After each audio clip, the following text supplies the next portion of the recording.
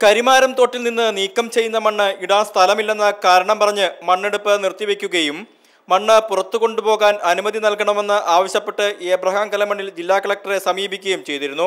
ഇതിന്റെ അടിസ്ഥാനത്തിലാണ് റോയൽറ്റി അടച്ച് മണ്ണ് പുറത്തു കൊണ്ടുപോകുവാൻ ജില്ലാ കളക്ടർ എസ് ഹരികിഷോർ അനുമതി നൽകിയിരിക്കുന്നത്.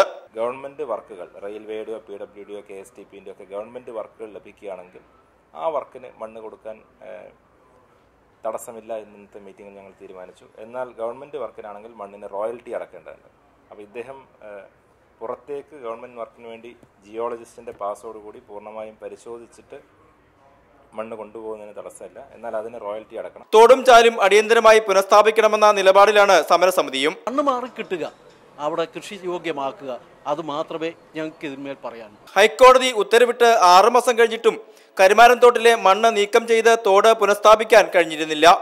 ഏഴേക്കർ വരുന്ന തോട്ടിൽ നിന്നും ഒരു ലക്ഷത്തിലധികം മീറ്റർ ക്യൂബ് മണ്ണ് നീക്കം ചെയ്യേണ്ടിയിരുന്നു.